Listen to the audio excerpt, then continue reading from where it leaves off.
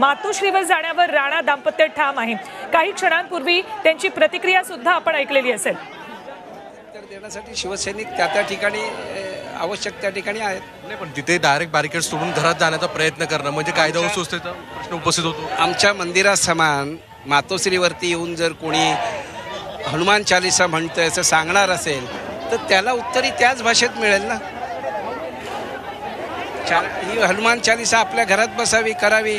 आम्ही आणखीन त्यांना ती करण्यासाठी मदत करू. पण ती मातोश्रीवरती येऊन करू ही जी काही डिवचण्याची भाषा आहे आणि जो उद्देश आहे तो निंदनीय आहे.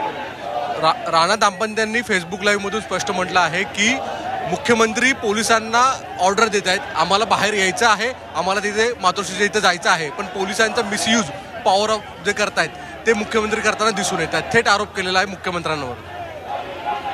त्यांना आत्तापर्यंत जे काय भारतीय जनता क- पक्षाकडनं संरक्षण मिळतंय ते उद्धव साहेबांवरती आरोप करण्यासाठीच मिळतंय आणि ते काम त्या करतायत. पण थेट मुख्यमंत्र्यांना या सगळ्या संपूर्ण प्रकरणामध्ये गोवलं जाणं? भारतीय जनता पक्षाचा तो एक अजेंडा आहे की महाराष्ट्रातलं उत्कृष्ट प्रकारे चालणारं महाराष्ट्र शासन त्यांना काम करू द्यायचं नाही.